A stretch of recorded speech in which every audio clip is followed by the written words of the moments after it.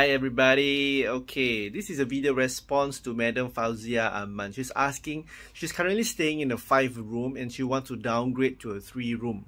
Does she need to pay any levy? The answer is no, as long as you buy resale. Even if you're upgrading um, to a bigger EA or EM maisonette, or if you want to downgrade to a four room to a three room, as long as you are buying resale, you don't have to pay any levy. So hope that helps. If you have any other questions, just put it in the comments below and I'll do my best to answer them.